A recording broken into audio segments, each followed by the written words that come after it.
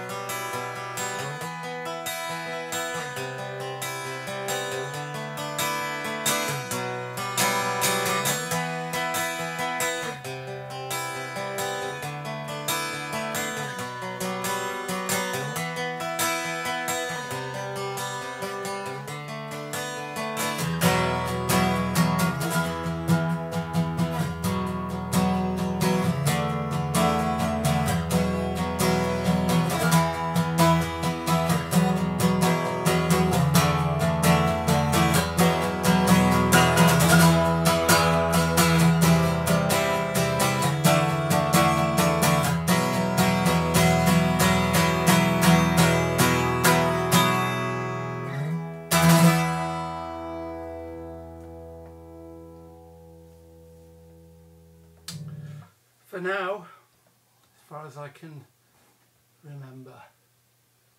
Okay.